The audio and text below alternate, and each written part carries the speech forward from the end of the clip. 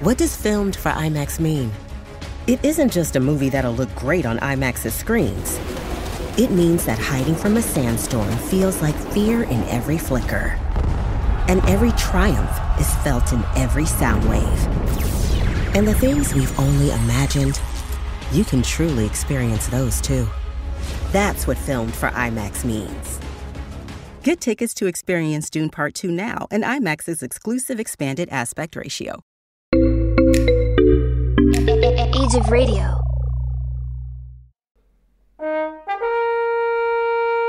A for screen and country special presentation.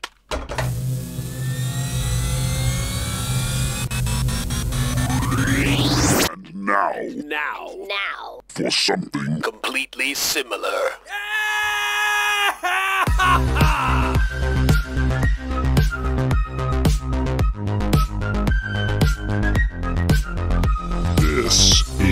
For Screen and Country.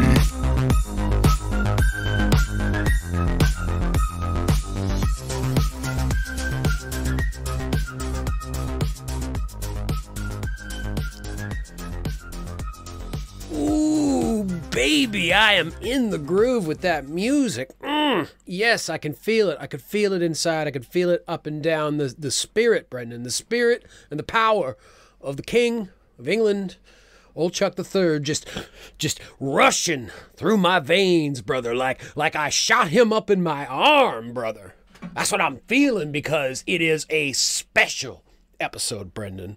It's a special time, and we are back. You uh, you you good, my dude? Sorry, I uh, I had a moment there. You- I, the music, the music really did get to me. I I see that uh, Wolfman Jack is now leaving your body, so that's good at least. Bye, Wolfman. See you later, Jay. Don't make sure to clap for me. He's gonna rate your record high. I've heard. If He you did. clap for him. He did. If you go over to Discogs, my record's uh, at five stars. I think that's the system they use, right? Oh, wait, wait, hold on. Animal noises and fart machines. Is that you? Yeah, Oh, that's me. one star Oh, out of one. But we're not here to promote my musical career, We're which not? is in flames. Oh, No, I mean I could use the podcast for that purpose, but Hmm. I mean, if I'm going to promote myself on a podcast, I don't know if it's going to be this one. wow, Yeah, yeah, I, I said it. wow. Okay. Continue, please. No, I'm just going to sit here silently and stare at you. I don't like this. Okay, well, well, I, I couldn't do it anyways. It was clearly a lie on my part. I can't shut up for that long. No, you, uh, I, Jason. Knowing you for that long, I, I don't recall the last time I've seen you uh, quiet for that long. I'm just kidding. You're a very somber, thoughtful person. Thank you. I think. See, there we go. He did it again. See, he's he knows how to do it. Jason, what, what, who, who are we? What is this? We, well, if you listen to the opening credits, you'd know that we are for Screen and Country. Oh, This is a special presentation of our podcast, which we like to do from time to time. Mm-hmm. Uh, and this is an old feature that we haven't uh, haven't done in a, a long time. Oh. a long time. it's time to talk about porno again. Nope, uh, those are those are behind the paywall. Okay. Because really, how much can you say? It's like, well, he's he's thrusting and he's he's still thrusting. He's kind of got a jackhammer thing going. It's kind of like the last scene we saw, really. Jason, you're really bad at promoting how great our behind the paywall content is. Look, if you want to be if you want to be lulled to sleep by two dummies talking about porn, give us money and we'll do it. I mean, it won't be my most uh, uh, finest. It won't be my finest hour, but sure, I'll give it a shot. Just all this is an audio track of just quietly, like every now and then. Yeah, she's hot. Yeah. you just uh, disturbingly at some point here. Oh god! Oh, it's everywhere. Oh man, I'll be right back. You just hear like scrubbing. Anyway, this is horrible. Um, Jason, It is. It is. It's terrible. your name is Jason. And your name is Brendan. That's right. And this podcast, like you said, is called For Screen. And country. And Jason, we talk about, well, we have been talking about war films. We've been talking about the 100 greatest war films ever made in wartime. No, not just in war. I guess every time is wartime. I mean, I, it's Almost. it, it, it's almost cynical to say, but yes, every, all time is wartime. All time is wartime. That is my the most cynical thing I will say on this podcast. Um, I don't know why I said that kind of like with the cadence of Donald Trump. It's the most cynical thing I'll say on this podcast most cynical. You've never seen anything more cynical than what I said on that podcast. in terms of podcast and cynicism. Um, but yes, we are talking about the 100 greatest war films of all time. However, like Jason said, this is a special presentation because we are going back to an old segment we like to call "And Now for Something." Completely similar. And uh, yeah, that's kind of tied into the British movies we used to do. But it basically means we're gonna we're gonna talk about a few movies kind of tangentially related to uh, the ones on the list, whether there be a sequel, another adaptation of the same source material, a prequel, um, even sometimes just another movie by the same director or with similar themes. Sidequels. Sidequels, side quests, midquels. uh, uh, uh, spin-offs, spin-outs, Yeah. spin-ups, and spin-downs. PSAs, uh, PDAs, uh, scooters, gypsies, tramps, and queens. We could watch RoboCop because it's similar to um, Whiskey galore. Whiskey Galore, and then and then we could watch WCW Capital Combat 1990 because RoboCop's there. Right, exactly. Those these are all things that are making sense to everyone listening. Absolutely. Um, yes. so- but but those those things are not what we're here to talk about today. We are here to talk about a film that is actually a remake. It is a remake of the very first film that remake? we watched. a remake. No, the remake isn't. The re- it's a remake. It- well, or is it a remake? I guess it's another adaptation. it's really. another it's not really a remake Yeah. of the film, but it is another take on the Erich Maria Remarque novel, All Quiet on the Western Front. this- And this, go for it. I was just gonna say, is this how your is this your cadence for the whole entire episode? Yes, yes, yes, yes, yes, yes.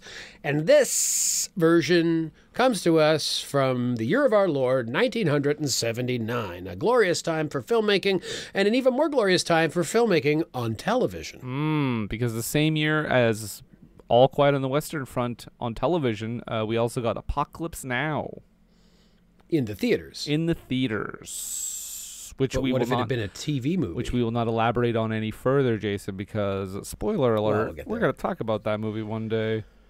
I always feel like Kurtz, Brendan, Hmm. working with you. what does that even What does that even mean? You were an errand boy Mm-hmm. sent on a mission to make a delivery. I don't remember what the line was, but you know what I'm talking about. Yep. Gr- great. Leave it all in. um, so all quiet on the Western Front, 1979. Just want to go through some of the people involved, and then Jason will. I, well, I mean, I don't think we're going to go through too much of the plot because it's pretty similar. You might say completely similar to something we've covered before. Yeah. Um, so maybe we don't even have to go too much into it, but maybe just a refresher. But anyway, this movie stars uh, Richard Thomas as our man Paul Baumer. Uh, and we'll get into some of these casting choices.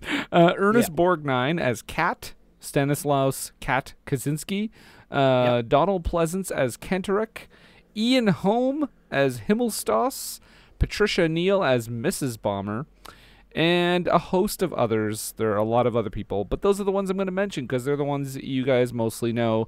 I'm sure there's probably a Star Trek actor Jason's going to mention here in a second. And the director, of course, is Mr. Delbert Mann. And Jason, uh, the one movie standout that I saw that he's directed is uh, the movie Marty with, uh, oh. funny enough, Ernest Borgnine. Ernest Borgnine. Yeah. So there you go. I've never seen Marty. I want to see Marty because I love Ernie. Yeah, right. All of that, yeah, all of that adds up. I've never seen Marty either. It's just one of those movies where uh, I just know of its existence and not much more. Do you know why I know of its existence? I know of its, of its existence because of another movie. Do you know what that movie is? Uh, Rudy. Quiz Show. Oh, Because the the question that he intentionally gets wrong is about what movie won the Academy Award, and I don't remember if Marty did or not. But he, I think he said Marty won and it didn't, or he or he didn't say Marty. Well, I don't know, but that's how I know what Marty is. Quick editor's note Marty did win Best Picture. how dare you spoil a thirty-year-old movie? A thirty year old movie based on a historical incident. Yeah, you monster. oh, Christopher Nolan would not be happy with you. But Don't spoil the past for me. is, that's, is that your Christopher Nolan? Yeah, that's that's what he would say. No, I'm Christopher Nolan, film nerd. Yeah, yeah, yeah, yeah. I don't I don't mean my my my various nerdy guys to sound like stereotypes, but It's just what it just happens. happens. Yeah. It's just what happens. Not much you can do. But Jason, I blame Hollywood.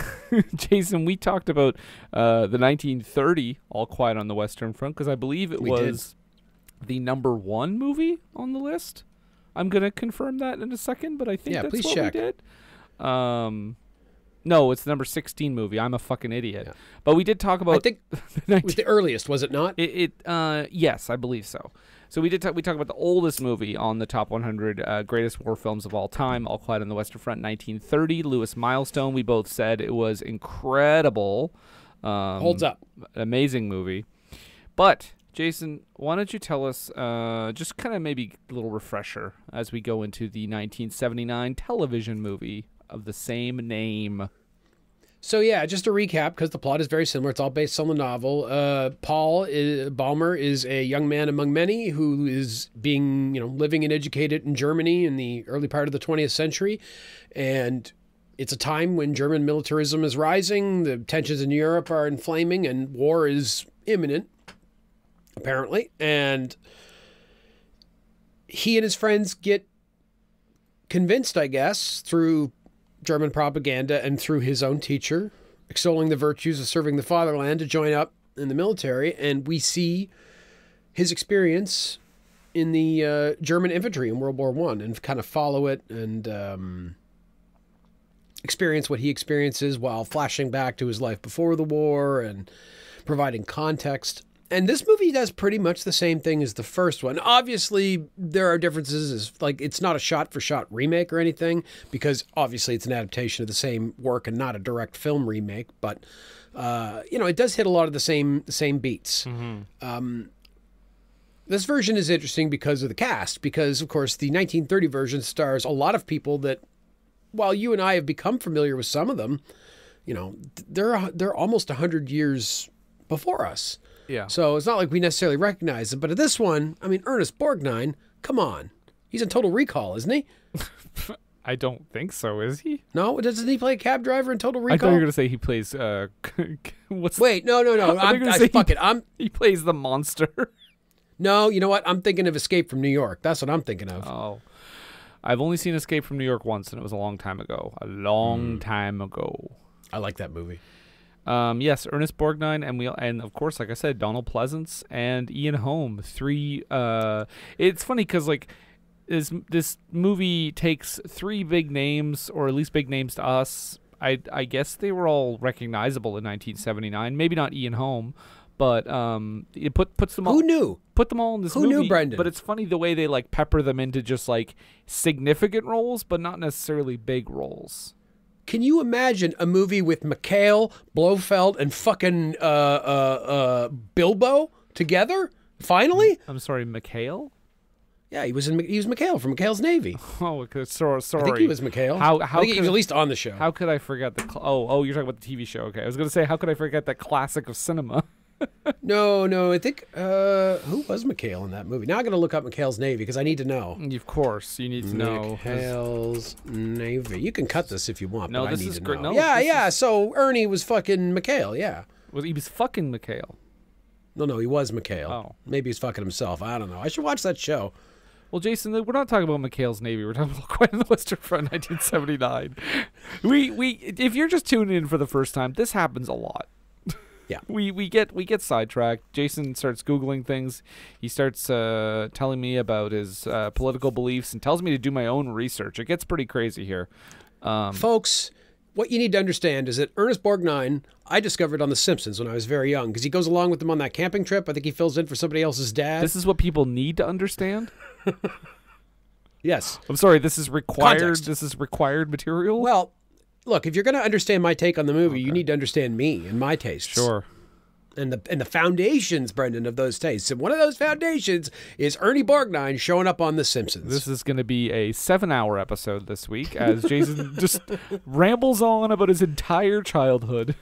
Well, that's well, Brendan. Look, this is. I mean, there's only so much we could say about a remake of All Quiet on the Western Front. In my Uh, younger and more formative years, I remember a piece of advice my father gave me. À la recherche de temps perdu. Yeah, that's the French version, uh, Le Beau Gatsby. Okay, let's get into this. So, yes, these three heavyweight actors Ernest Borgnine, Ian Holm, and of course, the other guy we mentioned. Donald Pleasence. Donald Pleasence, thank you.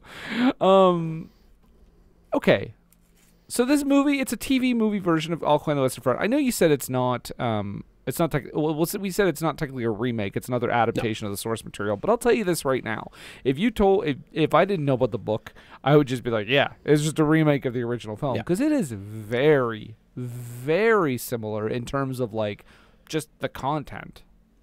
There, there's a few minor differences, but in terms of structure and stuff, in fact, it's about it's almost the same length. I think it's the, it's only about ten minutes difference between the two, right? Yeah. Um, the biggest difference with this one, obviously, the cast, but this one's in color.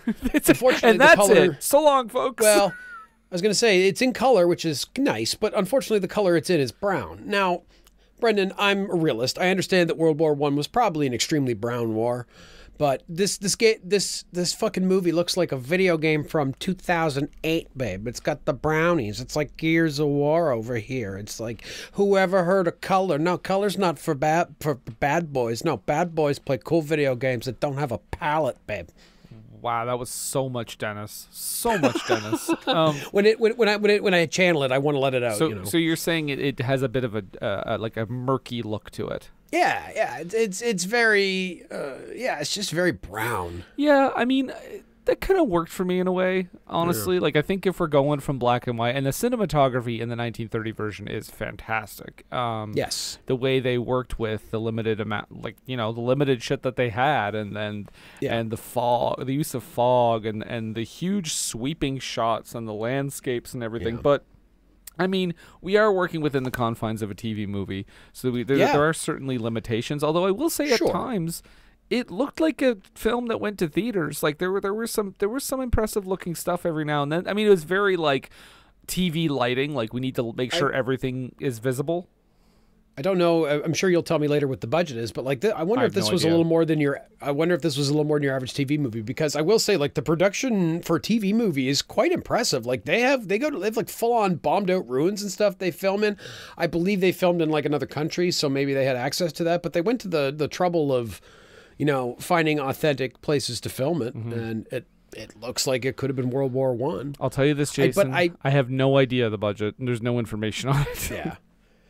but like it's I, I think the issue is like the movie looks fine, but it's like it, it, it's like I say, it's overly brown, and the cinematography is not particularly inspiring. But this is a TV movie, I understand, and you can only work with what you got. But mm, I, I appreciate trying to take a unique approach to the same material, and that's I think ultimately what my overall issue is with this movie. And it's and it's and it's not. I, we we see plenty of bad remakes, and I don't want to say this is a bad remake mm-hmm. because we'll get to the end and we'll talk about that. But it's just it's so unnecessary.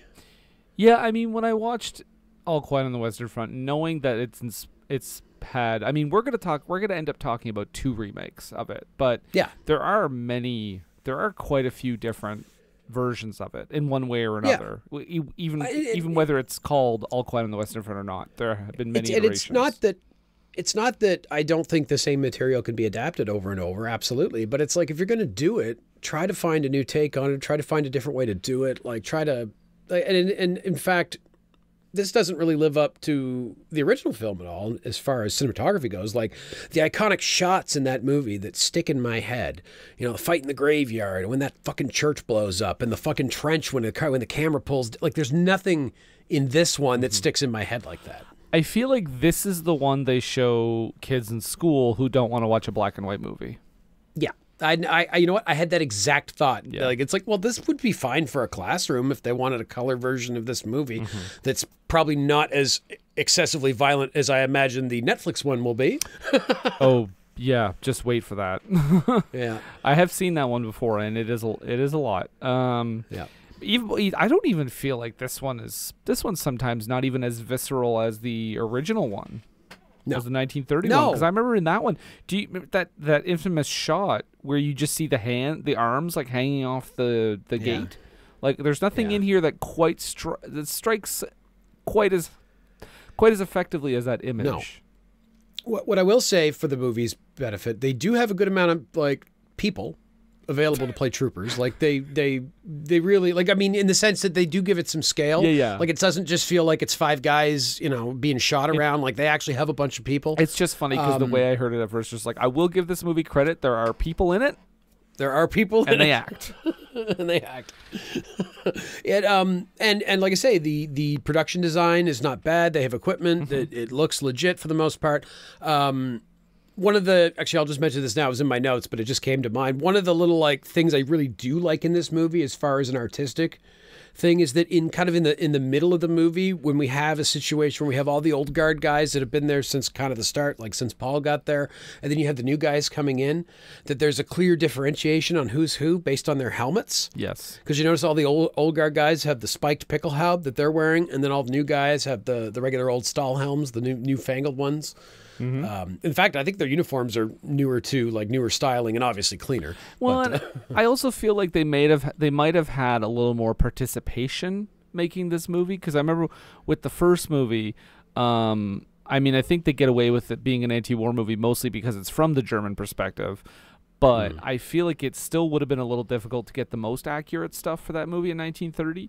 But in 1979, I mean, yeah, you want to, yeah, anti-war, sure, whatever. Like, you know, same time, you know, you could argue 1930. I mean, you had World War One vets that were involved in the making of this movie, and they were st- only a decade or so out from the war. Compare that to 1979. You definitely still have World War One vets alive, but they're all pretty old men at that point. Yeah. Like, Um, I uh, one thing I want to point out as something that I really liked in this movie, and it's not something I thought would ever ca- catch my attention, but um, this the score and how they sometimes don't use it. Like this, it's kind of because it's when it starts out, it they have this like kind of somber, kind of haunting score in the background, and it it, it kind of right away puts the puts over the fact that like that you know this is not a good situation, and but at the right times it does duck out for considerable stretches of time. Like it it does um it does know when to come in and when to go out.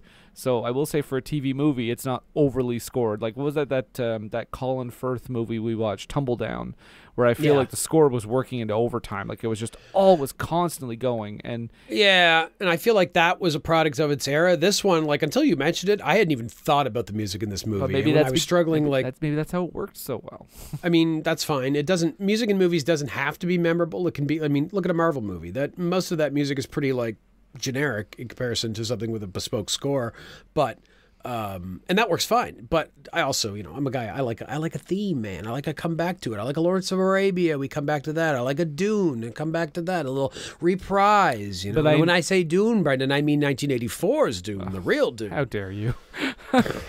I know that uh, I know that you, um, but I know you also appreciate in a war movie when the score knows when to stop, Absolutely, and that I feel like I feel like I love they silence. do that yeah, they do.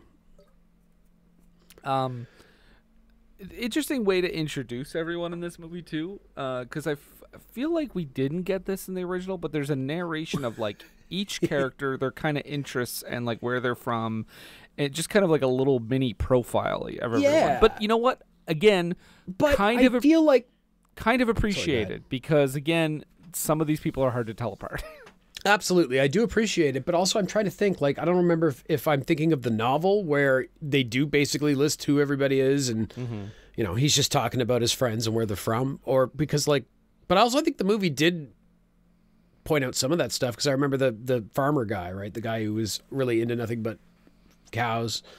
yes Yeah, and farming. um let's let's talk about how the same the same issue uh, that cropped up in the first one jason i don't think there's a single i don't think there's a single german person in this movie No, no, and I, I guess, and it's funny. Maybe this is a tribute to the original, but yeah, they they don't go to the. Nobody really speaks in a German accent, and i have which is probably for the best. yeah and i have to i have to say i do i i like the performance of the lead guy richard thomas as paul Baumer i think he's pretty good um he's got the See, I, I you know what? I got to argue with that. I didn't really like him. I found. I mean, I don't think he's a bad actor from what I see. I just don't think he jived with this role. It didn't do it for You, me. and you're oh, you're zero for two on Paul Baumer in these movies. You're still not. Yeah, I wasn't super hot on. Yeah, so we'll see with with the next one. Maybe that guy will finally do it. Uh, Ernie carries this movie for me. Th- That's where we're gonna differ, because as much as he is charismatic and and certainly entertaining, and he's giving a performance with a capital P, um, I feel like he's too much of like a cigar chomping American Yank for this to really work for me. I, I think the biggest difference in this one versus the original is that the the character of Kat in the original one, while he was definitely like a mentor to Paul and the boys, there still was an aura of him like some maybe some darkness to him, like because he was always known as the guy that could get shit too, right? Mm-hmm. They don't really go into that in this version. He's more just like kind of the the dad of the unit. Yeah. so he doesn't really have that going for him. But I mean, I, I guess it's just I'm won over by Ernie Borgnine's charisma. I love the guy. I mean, yeah, I, I just think he's woefully miscast. I mean, yeah. I mean, there's probably better people you could have cast in the role. Yeah, I don't know if if New York Sound and or despite the fact that they're you know they're not attempting to do accents or anything, it does feel a bit out of place to have Ernie in that role. But I also think that he does get some of the spirit of that character. yeah. I mean, but again, it's just it's filtered through his uh, kind of New York existence. Well, that's the thing. I feel like every time he was like, "You got to do it for the fatherland," I was like, "Okay, come That on." does sound funny. hey, kid, look, we're talking about the fatherland here. Aren't you a big fan of the Kaiser? Ah, that's interesting. We noted we do see the Kaiser in this movie. We did in the first one too. oh, did we? Yeah, there was the same. it's been a while. The, this the the scene that you're talking about also occurs in the uh, in the original as well. Okay. and they they I do appreciate. They do Sorry, keep up the accuracy of his his arm not being fully functional. I was going to say. Yeah. Yeah, you could see he kind of had it jammed in the saber, and he would and he would put out, out with one hand, and somebody else would grab the lapel, and he could pin the cross on. Mm-hmm. Jason, I think overall, at the end of the day, when we get to the when we get to the bottom of this movie, I think I'm gonna be a little higher on it, but I am gonna th- than you are. But I am gonna say um, the one of the things that I think one of the big changes they make here, and I think maybe slightly for the worse, is um, Donald Pleasence's kind of sleepy performance. Because I mean, I like Donald Pleasence. I think he's fine, but yeah, his the character is much less. He's a, almost flippant a little bit. Like he's he needs to be he needs to be like like inspiring blind, inspiring, but also blindly patriotic. no, like no. like the sort of yeah he doesn't come off as condescendingly patriotic, I guess, as the other guy. Like where, or not even condescending. Maybe that's not the right word, but where it's like he comes back, and in this one, Donald Pleasence has like a cigarette and offers him a cigarette, and it's kind of like, but in the original, I felt like it was more. Uh, like, boy, you're serving the fatherland. I'm so proud of you. Like, really just laying it on. And the guy's like, come on, man. Well, that's what I mean. That's that's what I mean. I'm I I don't mean like I sorry. I, I you you you um when you started talking, I didn't mean he was an inspiring character. I mean he's ins- uh, inspiring patriotism and fervent Yeah. like like nationalism in these boys. Like that's what I felt like in the original. Is like I really bought it that this teacher had the ability to come in and whip them into shape. And again, I'm going I'll go back again to that scene in Napoleon where I just don't buy it that Napoleon in that movie was able to talk those troops into into turning around and joining his side. And it's just because the way the scene and maybe the way Joaquin played it, but that's the thing here too. It's just the way mm. they have Donald Pleasence play it. And then really when the ki- when the guys get outside, that's when they start like whip it. They almost like whip each other into into shape. And that takes away from the whole scene because the whole point of this bit is that the teacher is the one that gets them amped because that's why Paul Baumer comes back later like rage, you know, full of rage at this teacher. But it doesn't work as well when, you know, he he whips them up into a frenzy a little bit, but then Paul Baumer really gets them going outside. Like that's not it's not as effective that way. Yeah, I mean, like I like in the in the other one, it's like pa- the, the teacher passive aggressively shaming people for not joining the military and and giving these like rah rah fire and brimstone patriotic speeches about the German culture and, and the uh, progress in science. Yeah. We're the we're the superior culture, and it's interesting listening to that because it's like, oh, that sounds a lot like today, the way we think of ourselves here in the West. yeah. And also, like when we get to the, the scene later on, when Paul comes back and talks with uh, Donald Pleasence with um, Kantorek. Did in the original film, weren't the wasn't the class there, and didn't they like shame him? Like, wasn't the whole thing where he came back and the, and uh, Donald Pleasence? Oh, no, obviously not Donald Pleasence in the original, but like the teachers, the teacher had another class there, Yeah, and Paul yeah, came in. came in into the class. Yeah, and they and they and they called him a coward and everything because he was Yeah. saying, "Oh, war is hell. It's not good. Don't sign up." And and they were getting all mad. The teacher was getting all mad. He kicked him out. In this one, he just kind of goes back in and just tells them like like you know passive aggressively, "Yeah, it's great. I love it. You're you're a real jerk." And it doesn't it doesn't have the same emotional. yeah. Beat. He goes there to flatly tell them it's like, well, I'm alive and this guy's alive, but everybody else is dead. Yeah, it's like it, it does it doesn't work as well because you don't see this like class of essentially new recruits that Donald Pleasence would have had in his classroom. I will say that when when they they do this they do another thing that the original movie does really well in that when you start to see the newer soldiers come in over the course of the movie, they do clearly get younger. They, I mean, at this point, like he's, uh, we have a scene near the end where Paul's walking along the trench line and like patting each guy on the back, and it turns they're literally like 13 year old boys. yeah. Like they, I'm sure they cast actual like teenage boys to be in those uniforms. What, uh, what was that? What, the patting on the back is that literally just to make sure they're alive? I think he's just yeah, probably just checking to see if they're ready, kind of a reassuring pat as an older soldier, you know, being like, "Okay, boys, get ready, you know, I'm here with you." I think he took that from Kat. I think he's trying to be to those new young soldiers like Kat was to him, mm-hmm. to be like not a commanding officer type character, but like a father figure who's like, "Guys, everything you learned in boot camp is bullshit. We got to teach you how it actually works out here. Follow me, stick with me. We'll get through this, you know." Would the uh, would the Canadian version be a boot camp? Am I gonna have to? You're oh, it's your week to edit. You can insert the laughter if you need be. Oh, oh, oh, stop. Oh, you're too much. No, I'm not doing that. I'm lazy. um, okay, and the, the I want, like I said, I wanted to talk about the three big per- performers, big names. We got to talk about Himmelsto- Himmelstos, Yes. which I think is the most successful of the three in terms of performances. One hundred percent. I think Ian Holm's casting as Himmelstoss is absolutely perfect, and I think it's a shame it was kind of wasted on a TV movie because I would have loved to have seen a bigger version of this movie with him in this role.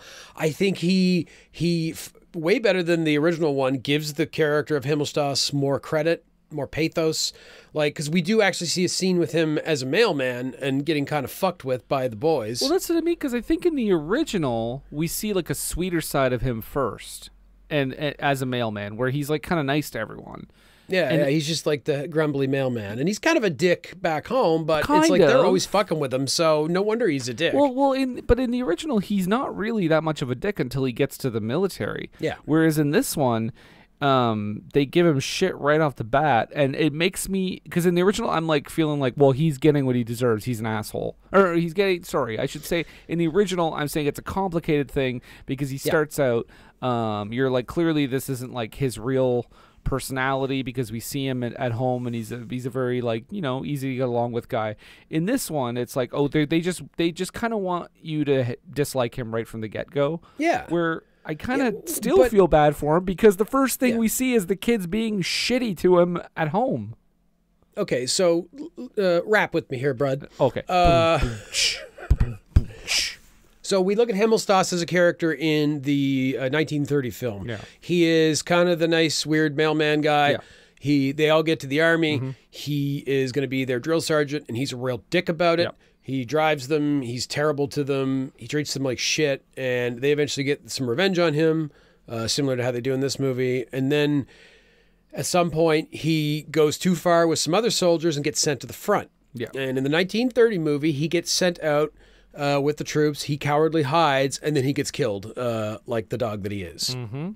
This movie's different. This movie gives Himmelstoss way more credit because one of the things I argued during the last one is that Himmelstoss's um, kind of appearance, especially through the novel, is colored by who's telling it. And in the novel, it's Paul, right? So through Paul's eyes, this guy's a fucking monster. But when you actually see what's going on, he's really not that much of a monster. He's basically a, a drill sergeant who wants to work these guys hard because he knows them. He's got maybe a little bit of resentment against them.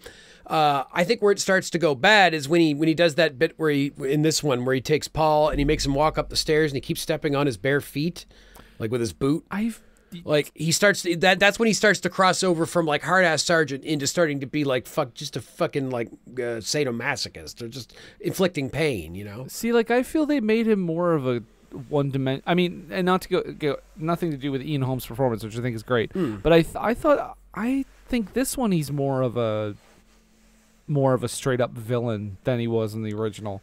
Because I think Well- in the original they at least show that he's not always an asshole. Whereas No, but I was going to say though, but this this yes, uh, up to this point I would agree with you. But I think this character then gets redeemed because not only does this character uh uh like he doesn't cowardly die in battle. He goes out and fucking fights. He's he does cower. Yeah. But then he gets up and goes out and fights and he gets an iron cross pinned on his chest by the Kaiser. And that's, you know, I mean, I know they were handing out iron crosses like candy, but to get the actual Kaiser to pin it on your chest, like that's a big deal. And then at the end of the movie, we do learn that he died in combat, but he didn't die a coward. He died, a, you know, he died like any other soldier. Like he died well. Well, as far you could say as that far about as we know. As far as we know, like it, the movie doesn't go out of its way to tell us he died like a coward, like he does in the 1930 version and in the novel, I believe. So I like. I don't know if this was an Ian Holm thing. I don't know if this was a script thing to make the movie more palatable, but I do like that Himmelstoss gets a little more credit in this one. Uh, that he's not just this mailman who goes psycho and then dies like a coward, like uh, which is that's fun. Well, Uh, like I said, this is Ian Holm to me of the three big name actors in this movie is I think the most a, a successful one. he I, I think I may have even pictured Ian Holm in my head when I was reading the novel because I think this is the perfect role from him because he's so Ian Holm has proven himself so great at playing guys with little man syndrome and that's exactly the energy that this role needs Wait. and it has. Do you mean Little Man syndrome like the hit Wayans Brothers movie Little Man? Uh, uh, no, I'm talking about the the disease uh, that uh, was diagnosed to little man Carter, a a North uh, Kentucky um, ventriloquist, but also a person of small size. Wow, you made me hate a person just by description alone. A North Kentucky ventriloquist. Yeah, no, there's uh, there's not a lot of them. So is he Jeff Dunham? Obvious reasons. I don't think Jeff Dunham's from Kentucky. I don't know. He has that vibe. I've got a I've got a 49 out of 50 chance he's not from Kentucky. yeah, he's probably not from Kentucky. Um, wow, you're just ruling out other countries. Okay. Uh, so He's American. Let's be real. Only an American would have Achmed the Dead Terrorist as a puppet oh boy, don't even get me started. Jason, on a stick. uh, there's a lot of uh, there's a lot of VO in this movie. Jason, what do you both what do you think about that? I, it's it's the it's a device in the novel. It's a device in the 1930 movie. I mean, it's fine. I think it's more. I think they use it more in this movie. I feel like. You think so? I think so. I mean, I maybe I just recognized some of the passages from what I read of the book, Mm-hmm. uh, but it felt like it felt reasonable for this story. I mean, and like you say, especially maybe with an audience in 1979, maybe you need to be a little clearer about what's going on. I'm just I mean, you ha- what you have to remember about the 70s, Brendan, is that everybody smoked, everybody drank, and there was lead in the gas. So everybody was fucking out of their minds. So you needed to be real straightforward with stuff if you wanted to make some money at the television box office. I just figured you were upset because you were like you had enough of Richard Thomas. You're like, get off my get. I, not only do I have to watch your stupid face, but I have to hear your stupid voice, even when your stupid face is not on my stupid screen. yeah, I'm assuming that's what you said. Yeah. yeah. That's what I said, yeah. Was that? Are you doing Rain Man? What's going? on? I, I, I, I, I- don't know. I don't know anymore. I don't. I don't think we could do that anymore. No, we probably shouldn't. We're not Shane Gillis on Saturday Night Live, babe. We can't pull that off. Wow. And I'm sure he pissed people off too. Um. I, he, he's particularly good at that, Yeah. Is that a intentionally or not. I was gonna say, is that a skill? Okay, let's move on. Uh, okay, so yeah, like I said, a lot of the scenes, a lot of the scenes are similar. Like the big scenes pop up. Like we get Baumer and that soldier that he uh is slowly dies beside him on the Yeah. hill. Um, we have the scene. oh. We have the scene with the French ladies. Um, although this one more heavily implies that they all had sex. Yes. Oh, pretty. It's pretty darn clear, short of showing them thrusting in each other. I mean, that would have been wild. To- Brendan, whenever two people leave a room, Yeah. at any point, I assume they're going to have sex. No matter where I am, no matter what's happening. If two people leave a room together, in my head, they're going to have sex. Anytime in real life or movies. Anytime, anywhere. If two people are in a room with me and they leave that room together, in my head, they're fucking. Okay, so uh, all right, I've got so many follow up questions for you. No follow ups. So if you see two people who just happen to be going to the bathroom at the same time in a restaurant, Yeah, they're fucking. absolutely. 100%. Okay, and you're, you're does it apply to animals as well? Oh, yeah. Animals. So if uh, you're- vegetable, mineral. So so your mom goes to take the dog outside. You're assuming Mm-hmm. your mom is fucking the dog. I mean, uh, I have to. I have to assume that.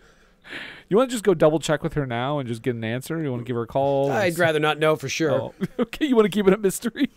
Yeah. does that does that yeah. kill it for you if you if you find It's the out the spice of life, you know. Good lord. Mystery, they say, is the spice of life. That's what I've heard. The the pickup artist mystery. yes, he. Without him, life is nothing. But yes, it's, it's, these these these key scenes are pretty similarly done. Um, I guess the only other thing, there's two other things I want to mention, just kind of overall things um, that I that I did really like. In the original movie, they make a big deal, and in this movie too, they make a big deal out of Baumer. Every time he's offered a cigarette, he says, "No, I don't smoke." Um, I like how in this movie they wait until the very last scene for him to actually have a cigarette. It, it makes it a little bit more impactful. Where in the, as in the original, he was just like, eh, "Eventually, war shitty," and I just started smoking. But like in this one, they wait till he's at his very lowest. Like everyone around him has died. Kat's died. Kat's dead. All of his friends are dead, and he's having like that cigarette in the in the um in the trench. I, you know what, Brendan? I think if I was making this movie, I would have gone a little further. He would have had the cigarette, but he also would have had a chew, uh, some chewing tobacco. He would have had like a bandit jammed in his lip, uh, nicotine patch on, um, also with a, a pipe in one hand and a cigar in the other, and a, and a cigarette in his mouth. So you would have you would have anachronisms uh, and just have him wearing a nicotine patch in 1917. You don't know that there weren't nicotine patches in the Audis in the tens. Oh, we're gonna find out right now, Jason. Mm, I wouldn't do that. Entertain the people. Well, you know, like I, I don't think you need to fact check me, don't Brendan. so? Mm-hmm. You know, I'm pretty, I'm pretty solid on this stuff. I don't know why you would have to not trust me like that. I, I don't think that's very cool for a friend to do to another friend. Oh no, you you don't. Okay, well, I just want to tell you that it it wasn't until the late 80s, so you're very wrong. Look, uh, sometimes time is a flat circle, and things are difficult to discern. Would you say that the past is a foreign country? Yeah, they do things differently there. okay. Um, and then the other big thing, uh, of course, the the ending is a little bit different, uh, just a slightly Yeah. bit different. Because, and what I really like in this movie is early on when he's in the class and Donald Pleasence is teaching, he's drawing a picture of a bird that's outside in the window, and he's just kind of his escape from the conversation that's going on, right? And then at the end of the movie, what is he doing? He's drawing a picture of a bird to kind of escape from the moment that he's in, and ultimately. That's when he gets killed. It gets him killed. But I mean, that's what happens in the original. It's with, uh, although it's with a butterfly, right? Yeah. But I think I think they don't set it up like this one does. Like I think that I think it's set up fairly well. Like where they, where it, it like I said, it literally symbolizes his escape from the conversation in the class, and whereas now it's it's his escape from you know it's him trying to think of anything but the situation that he's currently in. And like, and like that bird, he was now free Yeah, free as a bird. because death, death, Brendan, is the ultimate freedom from life. Death is just another word for nothing left to do. Death. Na na na na na na na. To paraphrase Alex Jones, life is death. I don't like you doing that. I, d- I, I don't even want to paraphrase him, Jason. Hey, Brendan, I got. I wanted to tell you something. Uh, you could cut this if you want. If not, the people are welcome to listen in. Okay. You know how bad the world is. Tell me. I was on YouTube and a video of Richard Nixon from 1990, whatever. ki- bef- I assume before 1994 because that's when he died. Mm-hmm. Pops up, and he's he's looking like a boss. with His hair kind of askew, very old, and he goes on and talks for about two minutes about Russia in the future and what could happen if democracy went away. And he's pretty on the money. Scary stuff. When when Richard Nixon is talking sense from beyond the grave. Yes, scary stuff, my friend. Well, now that Jason has terrified all of you, um, shall we take a break, Jason? Oh, I think we need to. Okay, well, we're going to take a brief break and we will be right back. Hey, friends, it's Dick Nixon. Yes, you heard that I was dead, but I've been saying stuff from beyond the grave, and the best thing from beyond the grave that I want to talk about for Screen and Country, which is on the Age Radio Network. Oh, you gotta love it. You gotta check it out, because old Dick Nixon told you. Tell them Dickie sent you. Age of Radio. We do not endorse Mr. Nixon's policies.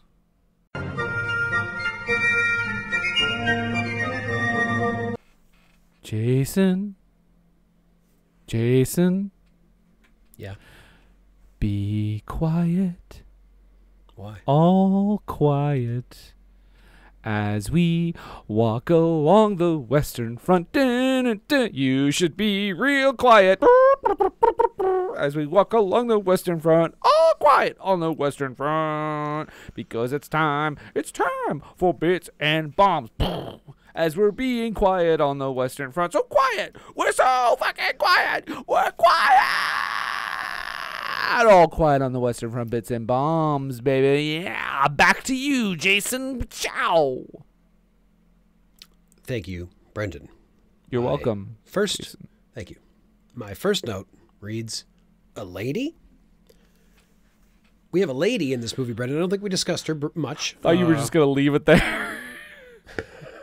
And my next Well, note. it's a war movie. It's it's you know it's it's a it's a thing for us to see a war movie from this, especially from this era, where a lady gets a um, uh, not only a credit, a starring credit. well, are you referring to Mrs. Baumer? Uh, Mrs. Yeah, Mrs. Baumer's mother. Are you referring to Paul Baumer's mother? Yes, Yes. uh, the actress's name, of course, Patricia is- Neal. That's right, Patricia Neal, doing a great job in her small amount of screen time, much like the original film. Uh, not a whole lot of screen time, but she, you know, she's she does the trick. She's fine. No, I like Um, I like that role because uh, yeah, she he comes home to her um, during his his kind of leave, and um, and she's obviously not doing well, but that's, it's a good performance. It's a it's she doesn't overdo the uh, oh I am the dying mother, you know. She just it's right right amount right amount stuff. I'll give Paul credit. I do like that scene of him coming home and standing in the stairway there and just kind of standing there. Mm. And his sister being like, come on up, Paul, or come on in, you know, come see mother or whatever. And he's just, he's, again, and we'll see it later, but he's having his Hurt Locker moment of staring at the fucking cereal. Like he just, him standing in his own house in that uniform. I bet you he's partially marveling at how small it feels. I mean, you keep building up The- that fucking cereal scene. That better be something else when we get to that movie. It's like the first five minutes of the movie. Okay, good, because I ain't waiting a long time for it. But I do like that. I like I say, I'm I'm not a huge fan of his performance, but I think he's doing the best he can. Maybe the maybe the role is just tough. I, I want. Who do you know who plays him in the um, Netflix version? It's a German actor because the the Netflix version is an all is a German production. yes, that's wonderful, but it's not. I assume it's not because I want to say it's Daniel Bruhl, but I think he's probably a little too old. Now No, to no, no. The, the Paul. that entire movie, I'm pretty sure, is a cast of people we. Uh, I don't think either of us know. Okay, I don't think. That's fine. Oh, look at that. Never mind. I'm wrong. It's um, uh, Sylvester Stallone apparently. Oh, hey, oh, uh, I heard there's a war going on. he just like wanders by. Oh, there's a war going on. I was hoping I could help out. Hey, Sarge, when do we get to have fun around here? Oh, you know what though? it's Hey, funny uh, you you said you said that uh, semi seriously, but Daniel Bruhl is in the movie though. Oh, okay. who does he play? Uh, Matthias. Oh, I don't okay. remember. It's been a long time. Is that the farmer? Maybe I don't know. We'll talk about it one day. Yeah, I, I like that uh, Ernest is the first guy we see. Mm-hmm. Um, I wrote don't like the narrator. I guess I don't like the guy's reading of the narration very much. I thought it was we. I thought okay because the whole movie is in English, right? I mean, whatever. Yes. Let's get fine, whatever. But it is weird when Donald Pleasence is speaking like English with like the German writing on the chalkboard. Like that was that was strange yeah. to me because it's like, well, why not just fucking have them speak German?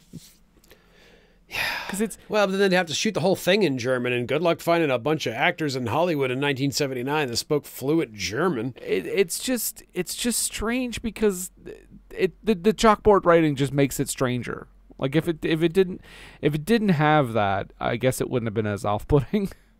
But but you know you know what Americans are like, no, I don't. What are they like? and us by proxy that we're all we're all dumb and we need we, we don't like subtitles, which is funny because it's funny in 2024, subtitles. Everybody uses subtitles now. Every, so many people I know watch TV with subtitles, my wife included, you included. I do. Absolutely. Not comedies. No. Well, you don't want to ruin the joke. Right. But it's the same thing with dramas though. I don't want to ruin the joke. And she's got cancer. Jesus. I was just like, oh no, I don't want to know. I don't know. I don't know which one Sophie chooses. I gotta turn these off. props to the effects department again. Um, some great, like nice wide shots of battle, like when the when the Germans are running at the French lines. We see guys running across the field. Some of the shots you could see a biplane coming over uh, the field, and then there's one really cool shot where we're looking down on the battlefield and we see the shadow of the biplane come over the troops, and I thought that was really nice, really well done. you know, I like the shadow of the biplane, but Nosferatu was ultimately better. Yeah, I understand that. He was a much better uh, airplane. Uh, Max Schreck was a very good airplane. you were a good plane, uh, to paraphrase a line from the hit film Monster Trucks. Yes. And that then that first battle scene too, Brendan, I gotta say, really good job at depicting the futility of this war, of having the, the you know, the French charge their lines, the machine guns open up, cut down a bunch of French troops, a bunch of them get caught in the barbed wire. They start retreating, the Germans come up, they press their attack, they go over, same fucking thing happens. The machine guns suppress them, they fucking they get caught on the barbed wire and then they retreat. Like it's just that's how that war was fought a lot of times, just back and forth, back and forth, back and forth. You know what they added to this movie? I just remembered now that they didn't have in the original. I think we we mentioned it last time because it was in the book, but we do Yeah. actually have a scene depicting them shooting their own horses.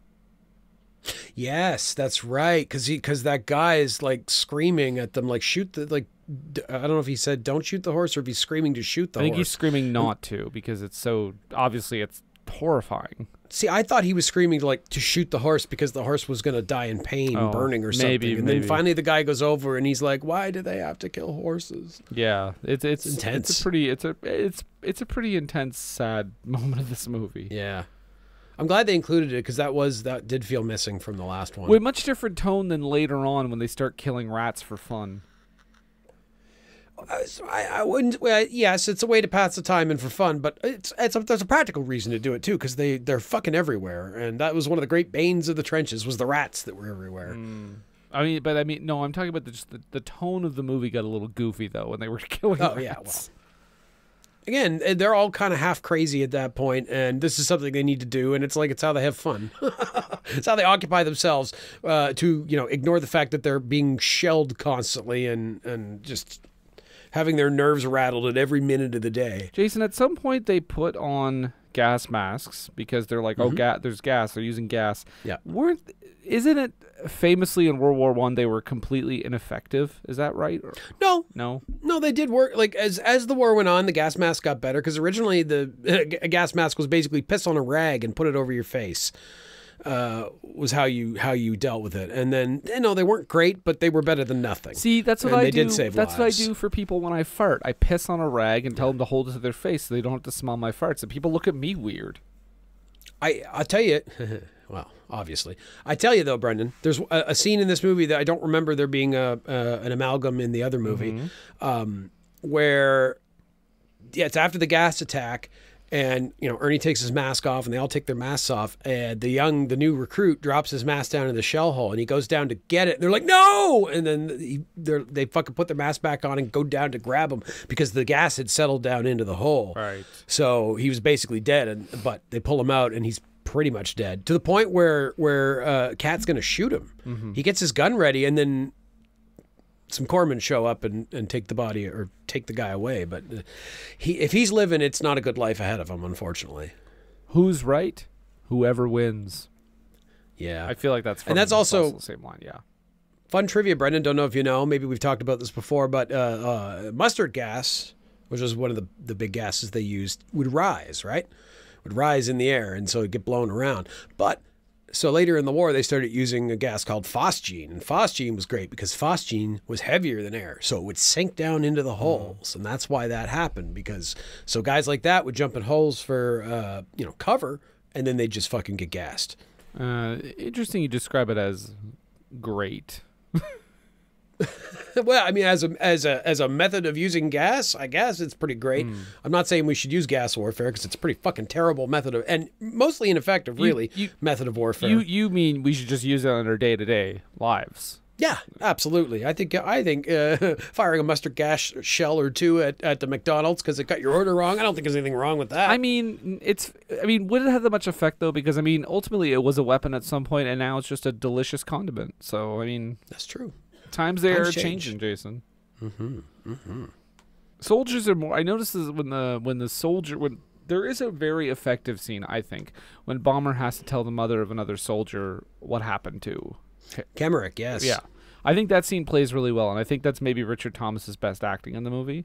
Um, But he, because she keeps telling him like, "Don't lie to me. Be honest with me," and he never is. He says, "No, he didn't suffer," but obviously he suffered. He says, "Nope, he didn't suffer. He didn't suffer." And then it's interesting later on when they get to a scene where, um, you know, Baumer tries to find out what happened to one of his other buddies, and the soldiers tell him, and like you give him a grim look and he says oh when did it happen you know they say a week ago was it quick and immediately they're like no it took hours it was very slow so it, it's just interesting right away the movie is like showing how honest they are with each other as opposed to like when they have to tell loved ones obviously they're sugarcoating it Oh yeah. Well, your son, well, he got shot in the gut by a German machine gun, and he laid out there for six hours. And we heard him scream most of the time. Uh, He did scream for mom. i mean Um, you don't have to get yeah. that detailed And then he eventually just bled out, and we heard we heard his death rattle, and that was that, man. and let me tell you miss you raised And then a- the rats got to him. you you raised a hell of a stinky poo because when he died his farts were stanky I mean, he, he did release his bowels immediately, ma'am. Just so you know. I I I saved you them in case you wanted to memorialize. it's the last remaining thing of your son. Jason, you just wait till the next one. That happens. The next one, yeah, the sequel.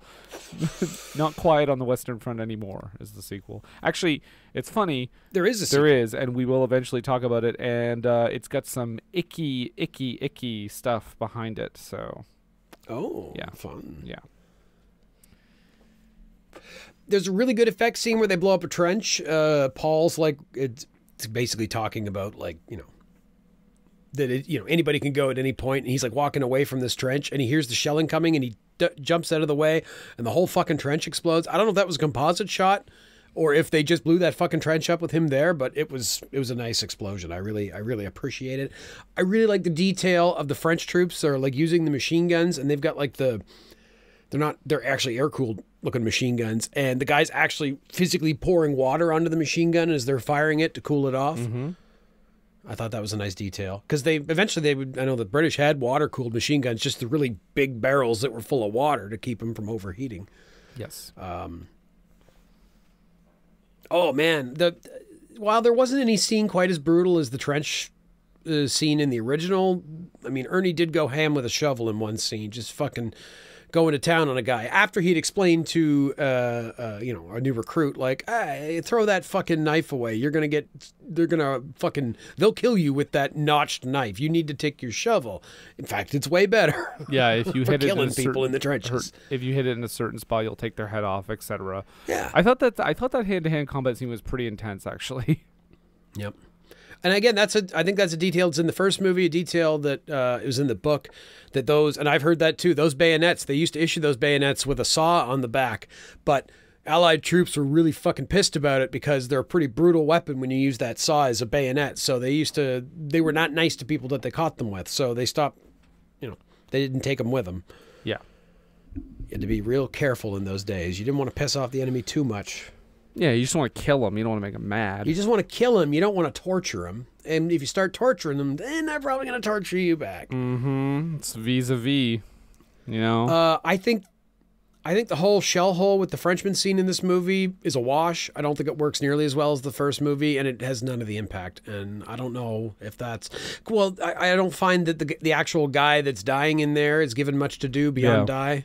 Um, not like the dude in the original film, and yeah, it just it doesn't doesn't work. I feel bad in a way because it's it's it's almost unfair to compare this movie to the 1930 I original. I mean, again, different limitations. It is a television movie. It, it's like c- comparing this movie, which I mean, spoiler alert, I think is pretty good, to a movie that is like a fucking unadulterated classic.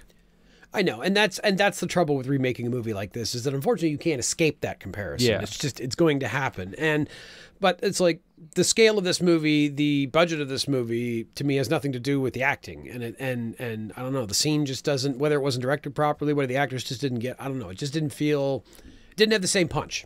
And Well, you've never I'll I'll say that till I'm dead. you, you've never been a fan of French people dying, uh, which is one of your admirable traits. So I know that that's why this Oh. scene really got to you. Well, I mean no more than anyone else, certainly. Well, I'll tell you, I'll tell you, I, I don't mind a Frenchie uh, hitting, hitting the old headstone, if you know what I mean. Yeah. I didn't like no, that they I'm not. I'm not done talking about this, sir. Uh, you, you, you, you, you, you didn't let me finish. Uh, uh, Please, Jim, go ahead. I, killed Germans too. You know, I killed a few Germans. But uh, I, I would hope you killed more, Jim. yeah, every for every uh, you know, for every German, I killed ten Frenchmen, uh, and, and three French ladies. But I, I just gotta say, the death rattle's just not the same. Uh, It's, it's really not the same. Jim, did you get an Iron Cross during the war? Uh, they gave me a cross. They said it was steel, but now, now I think it was maybe made of iron. Uh, Yeah. And you're mad about that because you love nickel. I do love nickel. I, Harvey. Oh, he sees he's seeing the rabbit again, guys. Uh, what do I got here? Oh, I, I like the, the little uh, detail when he goes home. He's walking through the streets and there's like a vegetable market set up, and the tables have very tiny piles of vegetables on them. Mm-hmm. Uh, with very tiny vegetables, very under under ripe vegetables, I suppose. Uh, but again, showing the situation that Germany was in, which was not good. Uh, when, when somebody in the movie says our bread's full of sawdust, and that was literally true, they used sawdust in bread during the war to help fill it out. Don't knock it till you try it. The last thing I have is just just to reiterate. I I kind of I don't like that Himmelstoss was killed off screen. I wish I'd gotten a little more closure with him on that. Um, but like I say, I I thought he was was was not done quite as dirty as the book and the and the first film. And normally that's not something that I would be cool with. But I I feel like Himmelstoss gets uh gets a little too much shit. So good on him for earning his cross in this movie. Okay, there we go.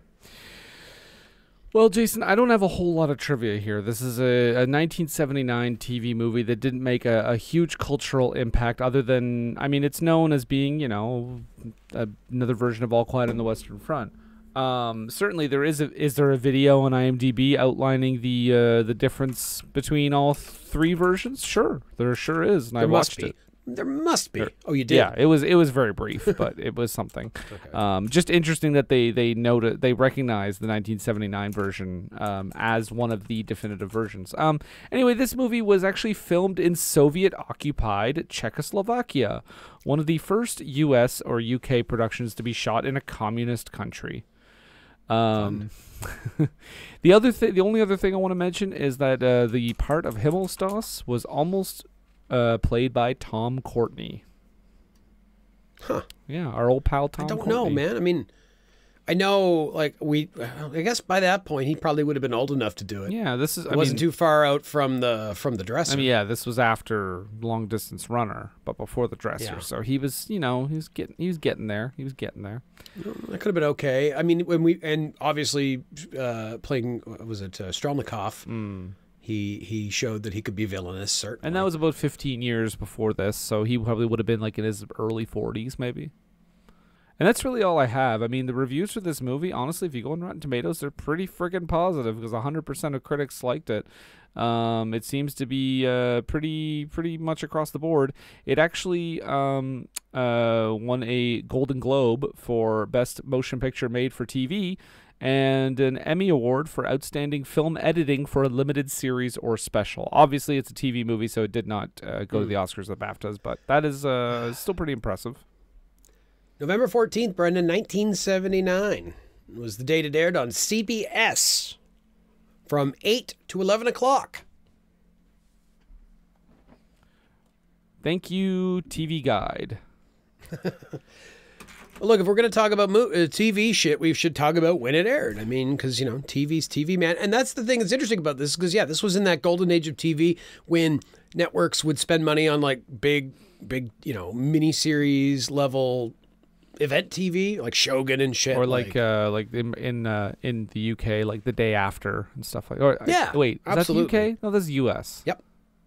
No, that was. Uh, or are you thinking of Threads? maybe I'm thinking of Thread yeah Threads is the UK Threads is one. definitely the UK. day one, after is. America nuclear war bad shit you know Yeah. But then even like stuff like the the the I don't know. I want to say the fabulous Thornbirds, but that's not the name the of the Wild book. Thornberrys the cartoon No, no, no. It's the the Thornbirds. It was a it was a it was like a novel, and then it was a big time TV miniseries. Fabulous Baker Boys no, uh the Wonder Boys Wonder Woman Mm, no. It's, it was it was something Thornbirds. The Boys. the, f- famous Thorn. I don't know. Boy George I don't care. Okay. That makes two of us. um all right, well there you go. That's that's our talk on the movie. Now Jason, uh, we kind of got, got an idea of where we're at, but uh, why don't you uh, why don't you tell us anyway why you felt this was a superior version of the source material and why you think this should replace the 1930 version on the list and go. Uh, Brendan, I'm not gonna lie. I don't lie. This is a competently made movie that has no real reason to exist, and I don't know that the next one will either. Maybe it'll do something more interesting, but like it doesn't do anything particularly unique. But all credit goes to the production because you know for TV production, it's extremely well made. I love Ernie in the movie, even if he's maybe miscast. I love seeing Ian Holm playing my man Himmelstoss. But I mean, fuck, if you had to choose, go watch the 1930 movie. Just do it. This gets um four out of seven bayonets. Okay.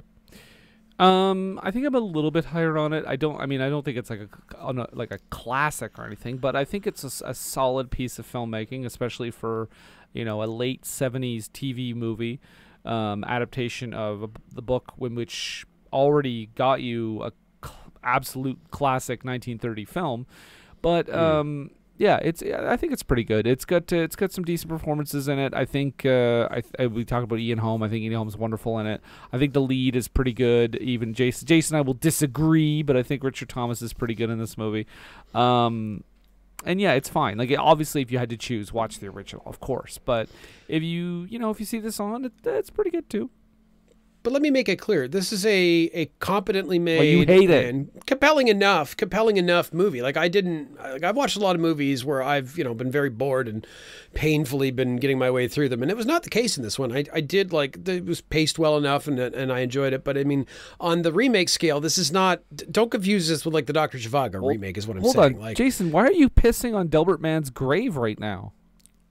I had to pee, and it happened to be here. Like it's not nothing personal to the guy. It's just. If, if I see a grave and I got to pee, what do you think I'm going to do? What would any person do? Oh, I, I, I don't know. This is a weird line of thinking. You know, it's a weirder line of thinking, Brendan. Did you know that on the same day that um, that uh, this uh, series aired, also that day at four in the afternoon, ABC's After School Special is being expanded from one hour to ninety minutes for the first time in its six-year run in 1979. Uh, uh, uh, it was the uh, the story, the late great me story of a teenage alcoholic. Fascinating. Brendan, Jerry is 15 years Oh, old. boy. She is attractive and a good student, but is also terribly insecure about I'm herself physically and socially. not At a huge Dave, fan of how it new in town, attractive. courts Jerry and urges her to sample some wine. The cycle begins. More and more dependent on alcohol, Jerry begins falling apart. Her parents refuse to recognize the truth. Only a teacher, who herself a non-drinking alcoholic, insists on offering help. And what is the lesson in all this, Brendan? Is that if you're going to go to war, you got to avoid booze because you will come back a terrible alcoholic and you will do terrible things to teenage girls. Brendan, back over to you. Uh, horrifying. That was pretty progressive. They called a, a lady Jerry, I guess. G E R I, much like in the same vein as Geri Halliwell, of course, late of the Spice My Girls. favorite Beatle. Oh yeah, of course. uh, well, there you go. Uh, so that's all quiet on the Western Front, 1979. But Jason, um, okay. So should we just lie and say we're going to? I guess it's streaming now, so we'll just say it's streaming. Next week we are gonna do. Uh, we're still not going back to the list, but we're gonna do something a little bit different, I guess. So we we kind of did this before with uh, Napoleon, but we're gonna watch a very very new movie. Um, we are going to watch, as I as I mentioned in a previous episode, we are going to watch one of the Best Picture Oscar nominees, and in fact, by this point, the Oscars may have already aired. In fact, so I don't. It may be a Best Picture winner. I don't know. Um, It may be. but we're going to talk about uh, because we talked about Sexy Beast in the past, and we've also talked about Under the Skin. We are going to talk about Jonathan Glazer's new movie, The Zone of Interest, as a movie that is uh, gaining the attention of many a critic, uh, getting rave reviews across the board. Um, it will probably not be a super pleasant thing to watch. Um, No. the commandant of Auschwitz, Rudolf Haas, and his wife Hedwig strive to build a dream life for their family in a house and garden next to the camp. Um, so yeah, we'll take a look at that. We'll take a look at that interesting um, arrangement of situations. Who is uh, playing Haas? But this is an all um, this is an all German cast, so I'm not I'm not quite sure. Oh. Christian Friedel, but I, the I'm not, name does sound vaguely familiar. yeah, I don't. Uh, I, I'm looking at his filmography, Jason. You don't know who he is. Okay. I don't know who he is either. Um, but we do have Sandra Sandra Hüller, who was really good in Anatomy of a Fall, another movie that came out this year. Hüller. You're such a basic bitch.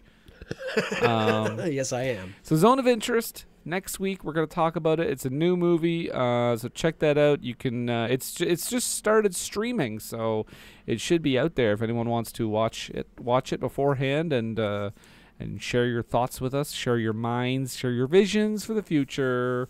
Share your wisdom. Share your wares. Jason, um, we're on the internet. We're, we're all over Yeah. social media. We're on Facebook. We're on Twitter. We're on Bluesky at FSAC Pod, as in for screen Ah, Gundra. podcast. If you want to find us on another podcast app, we're on there. We're on pretty much all of them. But if you want to go to our home base and get the full list um, of other, you know, podcast platforms that we are on, you can go to ageofradio.org slash for screen. Ah, Gundra. Jason, where are you at on the Twitters and the Blueskis? At Jason D. McLeod, that is M A C L E O D. If you're on either of those platforms, that will take you to me. Follow Jason for the hottest tips on how to survive trench warfare. Well, number one, don't don't build don't build and live in a trench. That's the kind of classic material you're going to get if you follow Jason D. McLeod. That's M A C L E O D on Twitter. and Thanks, Sky. No problem. I'm always putting over your brand. Thanks, brother. And that's pretty much it. Um, Yeah, so It is, isn't it? Yeah. So Jason, I guess um, I guess I'll just address you at this moment. Okay. Um, and I will uh, admonish you and admire you because I'm of both minds. And uh, I look to you and I say to you, Jason McLeod, my co host, God save the king. And you know what? While you're at it, God save the musician Sting. I know the wrestler Sting got a big shout out from you last week, but I think the musician Sting deserves a shout out too. So God bless Sting. And for Screen and Country, I'm Brendan. And I'm Jason. Don't stand so, don't stand so, don't stand so close to me. Woo! I combined them. For Screen and Country was created by and stars Brendan Wall and Jason McLeod. Today's film was the 1979 television adaptation of All Quiet on the Western Front by Erich Maria Remarque. British Grenadiers Kiwi Mix served as this week's music. This has been an Age of Radio production, copyright 2024.